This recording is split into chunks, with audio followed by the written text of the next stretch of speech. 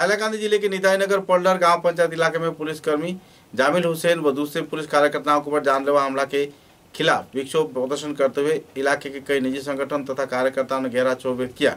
इस दिन जिला परिषद के सदस्य अशोकनाथ, पलाडर गाँव पंचायत सभा सभानेत्री सीतारा बेगम मौजूद रहकर क्षोभ व्यक्त करते हुए कहा कि हर एक अपराधी को गिरफ्तारी कर उनके साथ कड़ी से कड़ी कार्रवाई किए जाने का मांग रखा गया है। सूत्र के अनुसार इस वारदात को साजिश के रूप में अंजाम देकर उन्हें मारपीट किया गया हालांकि इससे किसी भी व्यक्ति की मौत तो नहीं हुई लेकिन हालात के चलते लोगों में चौक की स्थिति बनी हुई है और गांव के सभी स्तर के युवा वर्ग तथा पुरुष व्यक्ति इन दिनों फरार हैं গত পরশু দিন শুক্রবার আমার পোল্ডর জিপির একটা যুবক ছেলে জামিল হোসেন সে পুলিশে কর্মরত সে ওর গাড়ি নিয়ে পুরো একটা তদন্তে একটা জায়গায় গিয়েছিল নিতাইনগর বলে হাইলাকান্দির একটা প্রত্যন্ত অঞ্চলে।